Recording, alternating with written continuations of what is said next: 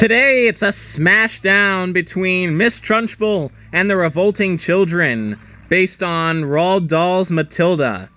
So, I'm playing as Miss Trunchbull. Usually I play as the good guy, because the good guy should win, but it I wanted to do a team of Revolting Children. So anyway, so... I start off running around, I'm healing, I'm getting gang beat up by all these kids. The one in the green dress is supposed to be Matilda, by the way, so I made her stronger than the others. So they're jumping around, I'm jumping around, we're in this building, which is supposed to be some sort of big school building. And I'm just trying to avoid getting beat up by them all at once. So I'm trying to take on them individually best I can. I'm punching this one down here. And then they're gone, so I jumped up, and that didn't do anything. So I'm punching and punching, and I'm gonna put down the hammer, as Miss Trunchbull would say. If you want to throw the hammer for your country. Yeah, it's also a musical, by the way, in case I didn't mention that yet. So now I'm shooting a laser gun, hoping I can knock them off stage with the laser, because I've pulled that off before, and it works great. But they won't stay down here, so unfortunately... Now it looks like I'm going to pull it off, but it runs out of ammo, so I just have to throw the laser. And this guy tries to balloon up, so I throw my big iron ball at him, but that didn't work. The other guy took it, and he still didn't die. But that's okay. So, running around, jumping around, oh, explosion, someone died. It was Matilda.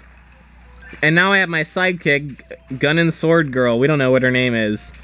And I'm just still doing the same thing, doing my ground smash as to try to rack up some good damage, throwing my iron shot puts, and kicking, punching, putting down the discipline in the smell of rebellion. Discipline, discipline for children who aren't listening, for edge to our fidgeting and whispering in history, that chattering and chittering, that nattering and twittering is tempered with a smattering of discipline also from the musical. It's a good musical. I recommend it. But anyway, that's not what you're here for.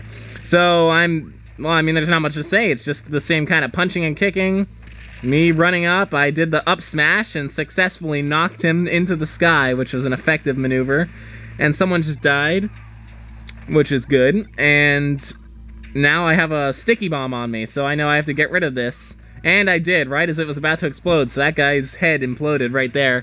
Violent. Great and rockets are firing everywhere. The villager is actually my favorite character to play as in this game, other than, of course, the Mii fighters. So now, fighting against three of them, I can see why Spencer thinks they're the it's the most annoying thing ever.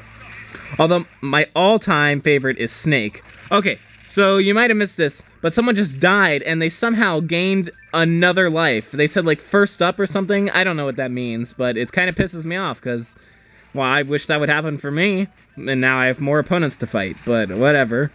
I keep going, and now this counting thing is flying around, but I'm dodging it successfully. I do another successful up smash and take out two at the same time, which is great. So now I just have this one guy who only has one life and 104% damage to take down. And so I think I can handle this easily. So I'm throwing shot puts at him, running around, and there's a smart bomb. I blow it up, but I got trapped in it, so that's unfortunate. But I didn't die. Good thing. So now I'm still, I'm waiting for him to come, except now I went down and shot put him. And now I'm going to go up, and I'm waiting for him to land, because I'm going to do this again. And I epically pull it off and fall down in the column of light. Pro. So the winner is Miss Trunchbull.